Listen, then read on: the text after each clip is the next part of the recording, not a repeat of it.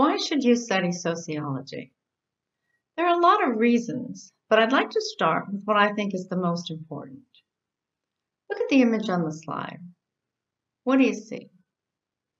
What are your thoughts about the men in the image?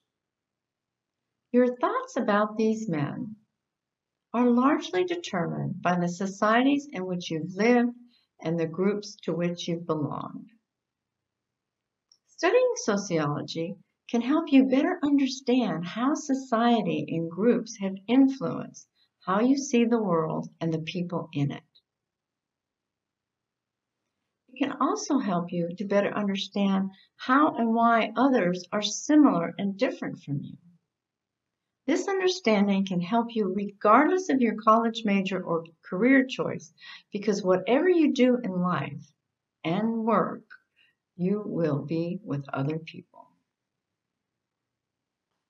I'm Kathleen Monahan, and I'm excited that you're considering taking sociology with either me or one of my colleagues. Here's some information that might help you decide if my class is the right class for you. Currently, I'm only teaching Introduction to Sociology, and my classes are completely online and asynchronous, which means basically that you don't have any specific time that you have to log into. You just need to get in often enough to make sure that you can keep up with your assignments and get them turned in on time.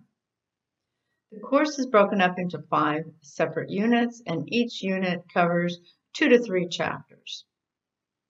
You're also going to be participating in discussions in class. And my the feedback that I've gotten from students is that this is their favorite part of the course. The discussions are written and centered around reading assignments or videos that you'll watch. The students tell me that they like them because the topics are interesting and they enjoy reading the perspectives of other students. There's also a quiz over each chapter. We have about 15, 16 chapters that we cover, and there's a, a, a quiz with like 10 questions. Um, and I really do this to help you to keep up with your um, reading because some students have a tendency to fall behind, but also they prepare you for the exams over the material to see, you know, are you getting what you need to get out of um, the reading materials um, and the videos that you'll be watching. Um, you're allowed two opportunities to take each quiz as long as you have the minimum score required on your first attempt. There are three exams as well, and the first exam covers the first two units, the second exam covers the third and fourth, and then the last exam, which I guess you could consider a final exam, covers all all of them, but um, about half of the exam covers the the um, the last unit, the fifth unit. And your final assignment is a reflection paper in, you, in which you'll reflect on the material that has been covered in the course.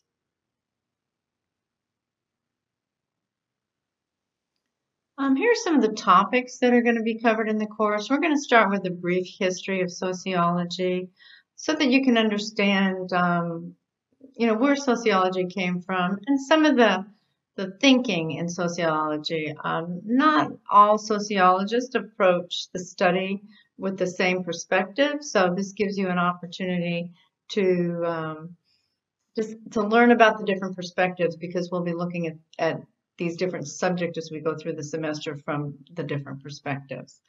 We'll be covering sociological research, culture, social interaction, socialization, groups and organizations, um, social stratification, race and ethnicity, marriage and family, religion, and education. As you can see, there's a variety of topics that we'll be looking at through the sociological lens. Now, the first course that I took in college, the first sociology course that I took in college, changed my perception of the world and my place in it. And in essence, it changed my life. That's why I'm really excited about sharing this subject with my students. Um, if this course seems like a good fit for you, I look forward to introducing you to the field of sociology and thank you for watching this video.